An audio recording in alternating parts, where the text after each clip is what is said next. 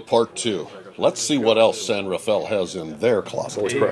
Gibson ES5 Switchmaster, great switch on there. But it's small. This was the second fanciest arch top by Gibson, just behind the L5C that we saw in part one of this video. The Switchmaster was a fully electronic version of the L5C. A maple plywood top was used instead of solid spruce to reduce feedback. This plywood construction limits collectability to some degree, but this is a pretty desirable Switchmaster here because of the six control knobs in this cool funky switch. It has three P90 pickups, which came before humbuckers that were introduced in 57. Unfortunately, someone removed the original finish on this piece, which really affects the resale value. So here we are with six volume slash tone knobs, separate volume and tone for each pickup, a four-way slotted switch on a cutaway bout with a Telecaster style switch tip labeled 1, 2, 3, and all, and gorgeous gold-plated Grover tuners. Let's see what our appraiser thinks this is worth. With the finish gone, that's the major uh-huh. issue. Is That thing on? Rack.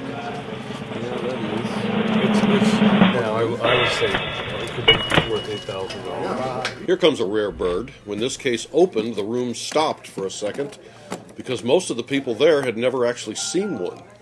Oh, it's an EB2 hollow body bass that was launched in early 1958 as a companion model to the new thin line semi acoustic guitar, the E ES335T.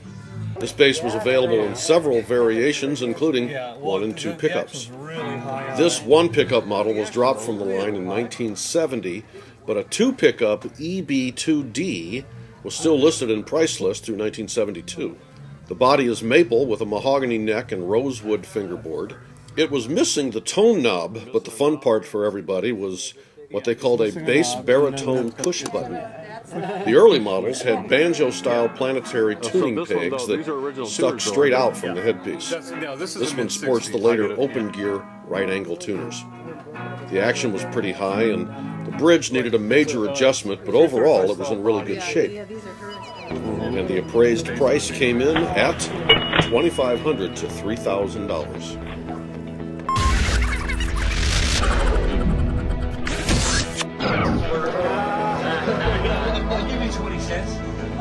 I have, a friend of mine has a BC Rich like this. And it's called the Eagle.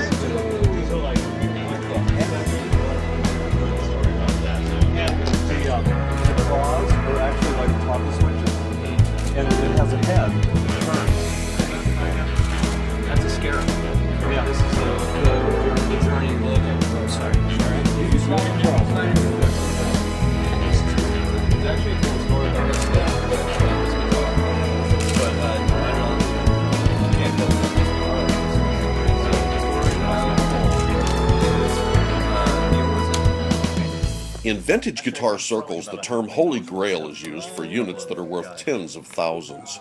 Most average people off the street are not even aware they own one, and this guitar definitely falls into that category. It's a 59 Mary Kaye Strat, named after the First Lady of Rock and Roll, who is also credited as being a founder of the Las Vegas Lounge Act. The Mary Kaye features an ash body with a translucent finish so you can see the wood grain underneath, and gold plated hardware. The only non original aspect of this guitar was the installation of a five way pickup selector switch, replacing the original three way, which the owner wisely held onto, as evidenced in this case candy collection, which also included the bridge cover, or ashtray as they call it.